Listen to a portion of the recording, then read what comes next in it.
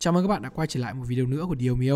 Hôm nay chúng ta sẽ cùng nhau đến với tập 3 của series Hồ sơ sinh học game do bạn Blackwood viết kịch bản.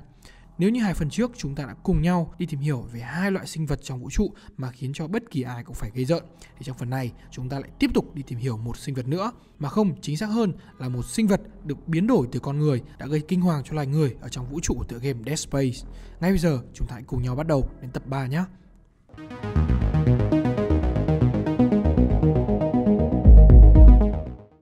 Hết, hãy cùng nhau nói một chút về tổng quan của loài này. Necromorph là những kẻ thù chính của người chơi xuyên suốt 3 phần trong series game hành động kinh dị nổi tiếng Dead Space. Chúng là những gì còn lại của thi hài con người sau khi đã được tái sinh và định hình lại bởi một thế lực kỳ bí, mãnh liệt và cực kỳ khủng khiếp bên ngoài không gian, vượt quá tri thức của con người và nó có tên là The Marker. Đây là một thực thể kỳ bí bắt nguồn từ vũ trụ nó sẽ du hành xuyên không gian cho đến khi tác động vào một hành tinh nào đó. Chúng có khả năng tạo ra một sự biến đổi khủng khiếp lên thân xác con người. Kết quả của sự biến đổi kinh khủng này là một dạng sống hoàn toàn mới, trống rỗng nhưng cực kỳ ghê rợn. Rất thích ký sự và sẽ tấn công hay là xé xác bất cứ sinh vật nào chưa bị biến đổi. Tuy nhiên, trong video này chúng ta sẽ không tập trung vào các dường marker mà hãy quay trở lại nhân vật chính là Necromorph nhé. Trong bộ phim hoạt hình cùng tên là Dead Space Downfall đã lý giải nguồn gốc của sự khải huyền do The Marker gây ra trên những phi hành đoàn có nhiệm vụ mang nó về trái đất để nghiên cứu. Đây là bộ phim ngoại truyện của series game Dead Space này, tức là câu chuyện trên trạm USG Ishimura trước khi Isaac hay là người chơi chính ở trong cả ba phần Dead Space bước lên tàu và quẩy tanh bành nơi đó. Cụm từ Necromorph có nguồn gốc từ Hy Lạp cổ đại với từ Necro tức là chết chóc và Morph tức là dạng sống. Bây giờ chúng ta cùng nhau đến chi tiết về nguồn gốc của các Necromorph.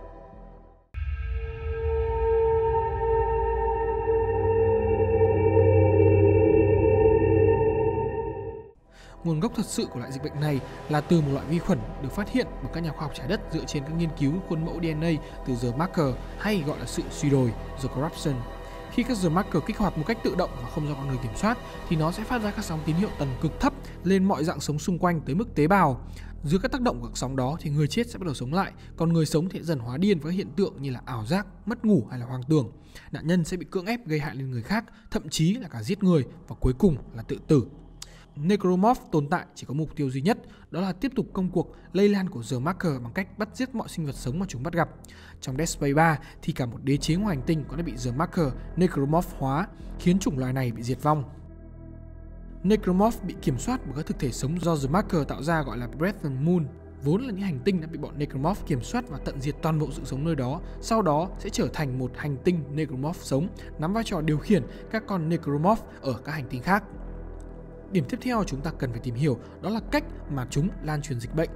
The Marker không phải là nguồn lây bệnh duy nhất và nó có thể dùng các loài sinh vật khác hay thậm chí là những con Necromorph bị biến đổi riêng cho việc lây lan như là Infector chẳng hạn. Ngoài ra thì sự lây lan có thể thông qua các The Red Marker được tạo ra bởi các nhà nghiên cứu được giảm sự nguy hiểm bằng cách sử dụng các tạp chất khác để giảm tính rủi ro khi kích hoạt chúng làm năng lượng. Ngoài ra thì chúng còn có mục đích nữa, đó chính là để ngăn đại dịch Necromorph nhưng tất nhiên là nó không hiệu quả rồi. Đặc trưng của sự lan truyền dịch bệnh thông qua các cá thể Necromorph là chúng thường xảy ra sau khi các giờ Marker đã biến đổi được một lượng lớn cá thể đủ để hình thành một đạo quân. Có hai dạng Necromorph chính. Thứ nhất là một đám chuyên đi để tạo xác chết và thứ hai là một đám chuyên chịu trách nhiệm để biến đổi xác chết. Những đối tượng sống sót hoặc chưa bị nhiễm sẽ bị săn lùng và giết, sau đó thì sẽ bị biến đổi bởi sự lây lan của dịch bệnh thông qua các Necromorph đặc biệt bởi chỉ chúng mới có khả năng biến đổi những cái xác mà lũ Necromorph thông thường kia tiêu diệt để tiến hành lây truyền dịch bệnh thì yếu tố đầu tiên của vật chủ mà cần thiết đó chính là nó phải chết cái đã.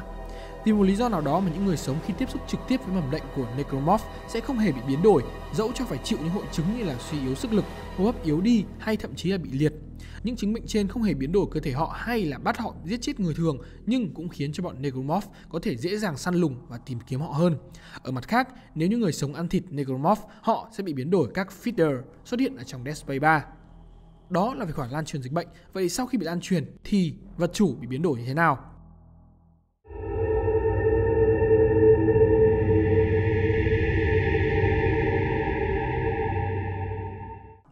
Necromorph khá đặc biệt, đó chính là feeder như chúng ta nói trên, thì được hình thành là do ăn những mẩu thịt đã bị nhiễm bệnh Tuy chúng thể hiện ra những hành vi và ngoại hình khác xa so với cả Necromorph thông thường, nhưng khi một hành tinh biến đổi sang Brazil Moon thì chúng sẽ vẫn bị tiêu hóa ở trong quá trình đó. Và điều này thì mình sẽ giải thích kỹ hơn ở trong một video về feeder nhé. Quay trở lại với Necromorph, Necromorph có rất nhiều kiểu hình và chủng loại, nhưng đa phần bọn chúng đều mang hình dáng của con người trước kia.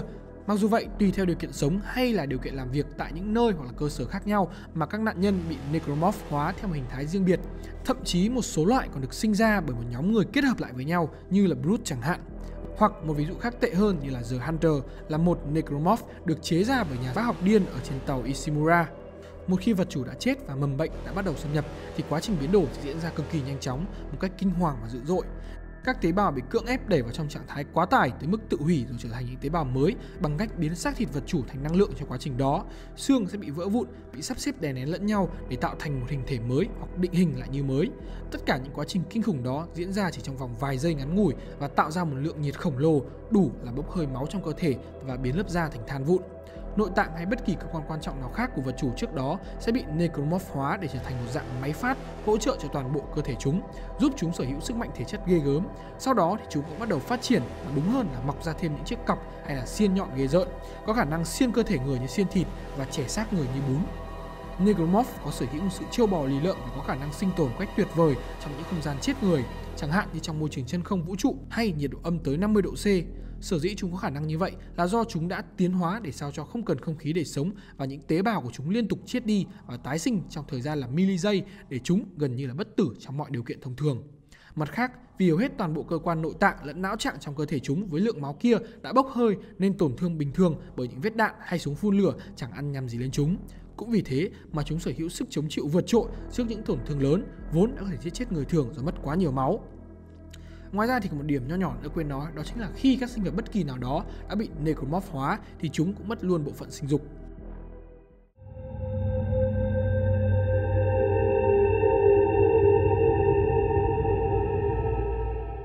Điểm tiếp theo chúng ta cần phải nghiên cứu đó chính là về hành vi của những sinh vật này.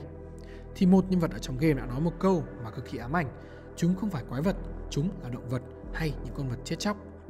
Negromorph là sinh vật cực kỳ hung tợn và tàn bạo. Chúng không có bất kỳ chần chừ hay do dự nào mà ngay lập tức lan xa xả vào con mồi của chúng, những sinh vật chưa bị biến đổi thành Negromorph không kể nếm xỉa đến kích thước, giới tính hay tuổi tác.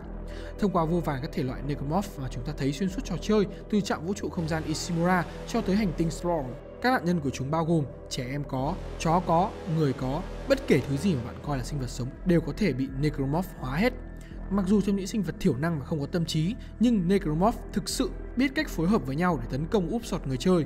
Chúng thường đi săn theo nhóm nhỏ, bao vây con mồi của chúng theo cách hướng khác nhau, hoặc nếu chỉ có một mình thì chúng cũng biết đánh lén, phục kích, nằm giả chết hay đơn giản hơn là sử dụng số lượng đè bẹp sức kháng cự con mồi, như trong mấy đoạn nhiệm vụ của Isaac trên con tàu ở hành tinh Tau. Một bầy Necromorph liên tục nhảy vào như đang thèm đạn của Isaac. Đặc biệt, nếu chúng chưa tấn công tầm gần, chúng sẽ không bao giờ ra tay chém bừa nếu như mục tiêu chưa nằm trong tầm với của chúng, chứng tỏ hệ thần kinh của vật chủ dường như vẫn hoạt động khá tốt. Các Necromorph có nhiều hình thức đi săn mồi hoặc mai phục, một số đơn giản là nằm giả chết đợi con mồi đi qua thì lập tức vùng dậy và sọc tơi bời nạn nhân, một số khác thì chỉ đứng canh một chỗ, chờ đợi con mồi đi vào tầm mắt nó. Nhưng nếu như con mồi đi quá xa thì nó sẽ gào thét đe dọa hay làm hoảng sợ con mồi để kích động các Necromorph khác.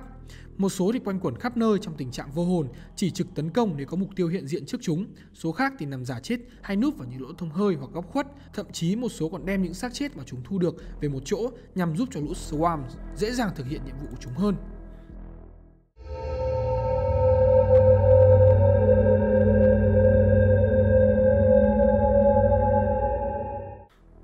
Vậy là chúng ta đã biết khá khá về đặc điểm của loài sinh vật này rồi. Vậy thì làm thế nào để có thể triệt hạ được loài sinh vật này?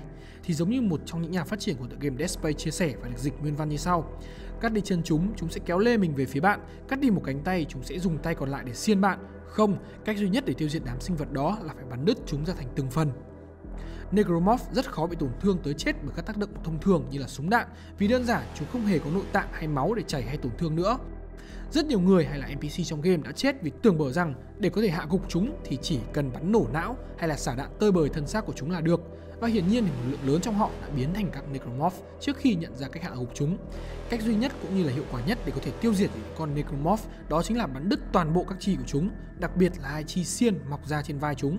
Đội ngũ sáng lập của Dead Space thậm chí đã áp dụng hoàn toàn chiến thuật được gọi là chiến thuật bắn đứt chân tay lên mọi kẻ địch ở trong game mỗi kẻ địch đều có một cách để có thể triệt hạ khác nhau, nhưng tóm gọn lại thì như thế này thấy cái gì mọc ra từ cơ thể chính, cứ nhè nó ra mà đứt, vậy mà thôi và đó là toàn bộ những gì mình và Blackwood muốn chia sẻ cho các bạn về Necromorph ở trong tập thứ 3 của series Hồ sơ sinh học game.